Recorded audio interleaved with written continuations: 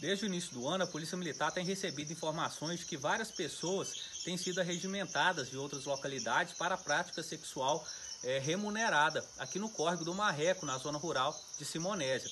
Constam as denúncias também que vários indivíduos do sexo masculino estariam vindo de outras localidades para cometer crimes contra o patrimônio aqui também na zona rural. Nós tivemos nesse mês de janeiro dois episódios de crimes em que foi utilizada a arma de, a arma de fogo, disparo de arma de fogo, e que uma das vítimas é, veio a óbito no último final de semana. Essa vítima também residia é, aqui nesse local. A Polícia Militar, juntamente com a Vigilância Sanitária de Simonésia, fizeram uma operação conjunta que hoje foi constatado pela Vigilância Sanitária que o local está é, clandestino, não tem o alvará de funcionamento que é emitido aí pela Prefeitura Municipal motivo pelo qual foi feita a interdição do estabelecimento.